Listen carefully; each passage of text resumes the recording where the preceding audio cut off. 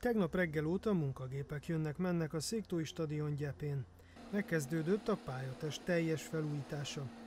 A gyepszőnyek felszedése után új rétegrendet alakítanak ki, ennek részeként vízelvezető rendszert és fűtést is telepítenek a pálya alá.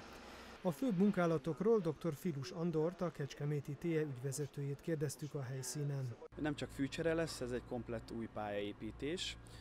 A legfőbb pontok, hogy kiépül a pályafűtés, a vízelvezetés, egy új, új vízbekötéssel egy új modern öntözőrendszer, illetve egy mai stadionoknak megfelelő gyepszőnyek kerül kialakításra.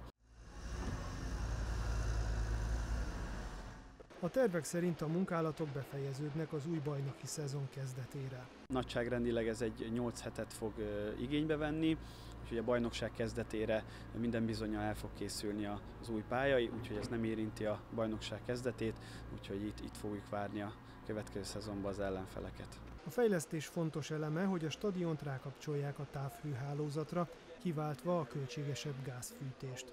Filus Andor elmondta, hogy a teljes fejlesztés mintegy 700 millió forintba kerül, ennek 30%-át Kecskemét városa finanszírozza, 70%-át pedig TAO forrásokból teremtik elő. A pálya felújítása után a következő lépés a lelátók és a kiszolgáló helységek fejlesztése lehet, erre jelenleg is keresi a forrásokat a klub.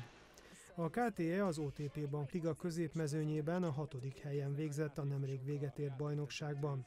A játékosok most két hetes pihenésüket töltik, majd megkezdődik a felkészülés a következő szezonra.